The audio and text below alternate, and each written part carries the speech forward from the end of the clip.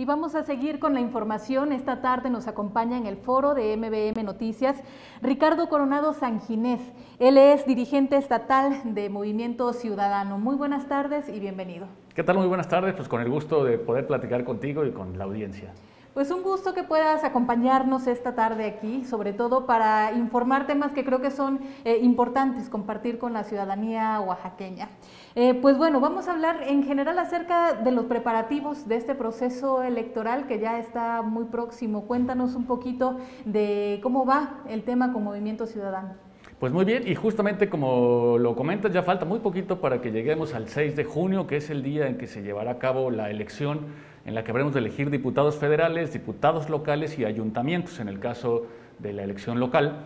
Eh, y Movimiento Ciudadano ya desde hace varios meses tomamos la definición de participar solos en esta elección, es decir, sin ningún tipo de coalición ni de alianza con otros partidos.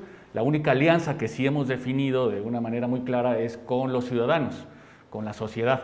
Y en ese sentido participaremos solos en la elección y ahí hemos estado justo colocando nuestros esfuerzos para conseguir eh, mujeres y hombres que quieran participar en el proceso electoral. Afortunadamente nos ha ido muy bien. Eh, hay eh, una sociedad cada vez más interesada en participar en la jornada electoral. esta elección tendrá su propia pues, sus propias particularidades, justo porque nos encontramos en medio de una crisis sanitaria e inclusive una crisis económica.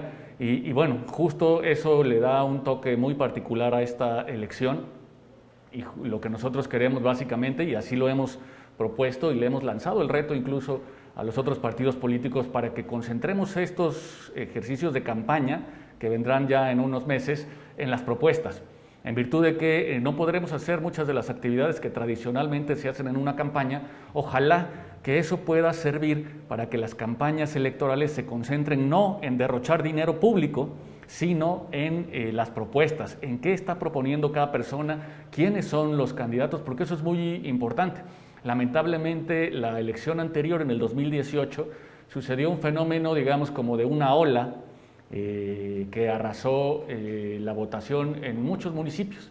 Sin embargo, hubo un voto que no se reflexionó y hoy se está viviendo una desgracia en muchos municipios del Estado, lamentablemente porque no se reflexionó el voto, se votó en una ola, se votó parejo y no se reflexionó quién eran los candidatos, si los conocían, si tenían trabajo, si tenían voluntad de servir. Y hoy estamos viendo un desastre en muchos municipios del Estado. Y ojalá que ahora, con el contexto de la pandemia, pues nos sirva a todos los ciudadanos para reflexionar mejor nuestro voto. Ya está demostrado que votar en línea, votar sin reflexionar no ayuda, no sirve porque ahí lo están padeciendo en los ayuntamientos.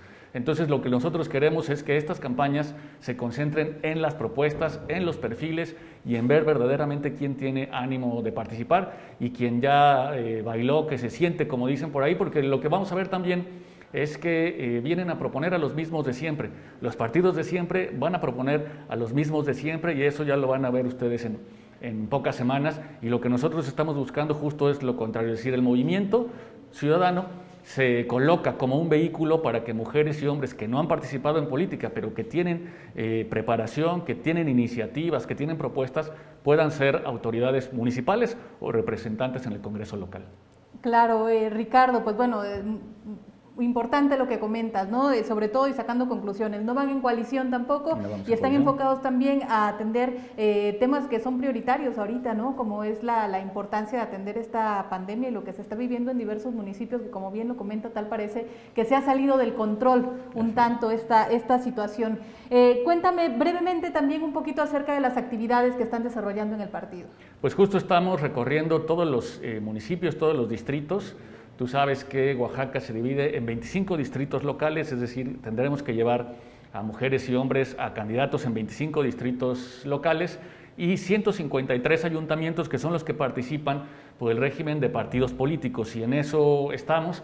Eh, ha habido en estas últimas fechas también eh, digamos, nuevas reglas para la participación política de los partidos, tendremos ahora que proponer a mujeres y hombres de origen indígena, a mujeres y hombres de origen afromexicano, a jóvenes, a adultos mayores, a personas con discapacidad. Y justo en esa ruta estamos invitando a las personas que pertenezcan a estos eh, eh, nichos de población también para que se interesen y participen a través del movimiento ciudadano. Como te digo, nosotros no eh, condicionamos la militancia para que alguien pueda participar en movimiento, más bien lo que ponemos es nuestro vehículo, que es el movimiento ciudadano, para que cualquier persona que tenga la capacidad, que tenga el reconocimiento de su región, de su municipio, pues pueda irlos a representar de manera digna y sobre todo hacer buenos gobiernos. La única condición que le estamos poniendo a quienes invitamos a ser presidentas o presidentes municipales y legisladores es que hagan buenos ejercicios de gobierno, porque eso nos beneficia a todos. Cuando un presidente municipal hace un buen ejercicio de gobierno o una presidenta municipal, pues beneficia principalmente a la ciudadanía, eh, beneficia a quien lo propone, que en este caso es Movimiento Ciudadano, pero básicamente lo que buscamos es que redignifiquemos la tarea política. Entonces hay un beneficio para todos si la condición que nosotros le ponemos a las personas se cumple, que es la de hacer buenos gobiernos de cara a la sociedad. Bien, Ricardo, pues el tiempo se nos ha ido muy rápido, hemos llegado ya al final de la entrevista, queremos agradecerte muchísimo tu visita, la información que nos has compartido el día de hoy y bueno, eh, reiterarte también la invitación, las puertas del canal están abiertas aquí para que nos sigan compartiendo un poco acerca de sus actividades. Muchísimas gracias, ha sido un gusto platicar contigo y con quienes nos ven. Muchas gracias. Muchas gracias. Vamos a continuar con la información.